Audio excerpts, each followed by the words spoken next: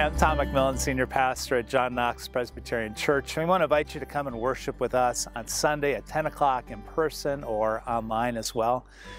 Last week we talked about Jesus and his baptism, about how kind of the heavens opened up as he came out of the water. John was baptizing him, and the voice from heaven said, This is my Son, the beloved, with whom I'm well pleased.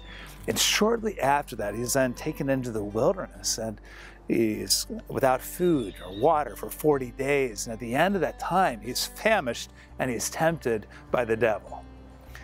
Three different temptations that have three different kind of meanings. And I'm intrigued by first comes the acknowledgement, you're my beloved son. And after that comes the trial and the temptation. Um, he's supported by angels after that and begins public ministry.